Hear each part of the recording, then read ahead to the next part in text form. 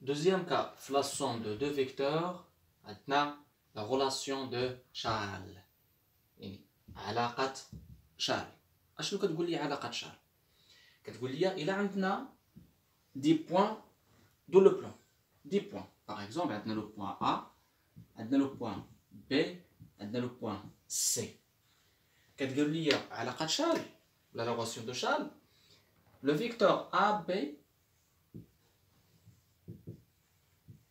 plus le vecteur BC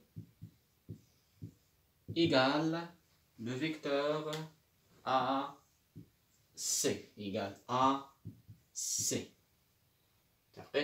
L'essentiel في هذا في هذا اللوكا هذا في هذا اللوكا ديال لا سوم اش ليسونسيال ديال هو لو بوان دو ديبار et le point d'arrivée ما كاينش حنا لي ديستانس لو بوان دو ديبار et le point d'arrivée d'abord انطلقنا من A ومشينا حتى ل B دو A vers B عاوتاني انطلقنا من من B وجينا ل C انطلقنا من B وجينا ل C alors le point de départ ديالنا شنو هي هي A لو بوان d'arrivée هي C ها هو لو بوان دو ديبار هي هادي ولو بوان d'arrivée هي هادي D'accord Le point de départ, il y a A, et le point d'arrivée, il y a C. Il est de A vers B, et de B vers C égale de A vers C.